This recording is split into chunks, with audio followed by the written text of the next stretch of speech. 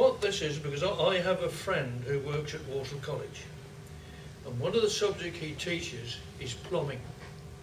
So he gets the students together, and what he does, he teaches them plumbing, you know, when you want your house completely, uh, perhaps a new central heating system, or perhaps a new sink in your kitchen, or your bathroom, something like that, where you've got your plumbing involved. And what he does from time to time, after the students have started to learn these subjects, is he gives them a little test.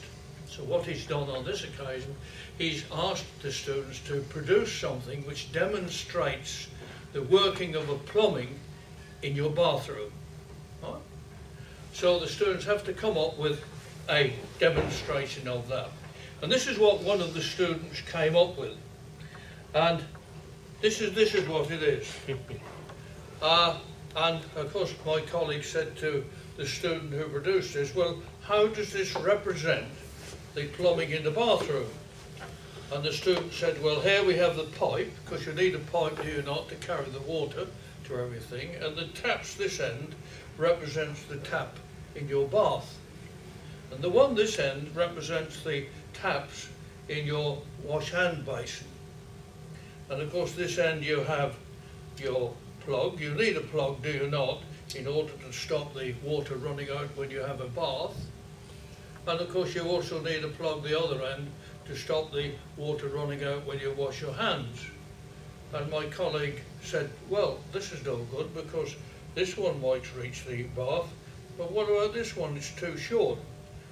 Um, the student said, well, it doesn't matter because if you pull this, it's long enough now.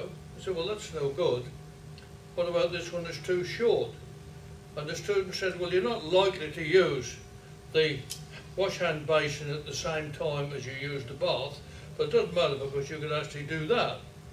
Or you can do that, or you can do that, or you still see that they are completely separate, and you can do that, and this one is separate. But he said, well, you can have them both like this, but they won't be long enough. And the student said, well, it doesn't really matter because what you can do, you can actually break them like this, and you can actually take it apart. So they are separate, like this, and this one is separate, and is long enough, and this one is separate as two, and it's long enough. And you can actually put the pipes back together again, like so, and then you're actually back to where you started from because you find that this one works on that one, this one works on this one, and they're completely separate. It doesn't do.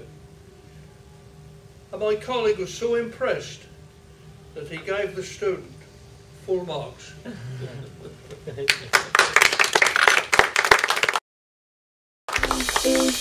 you.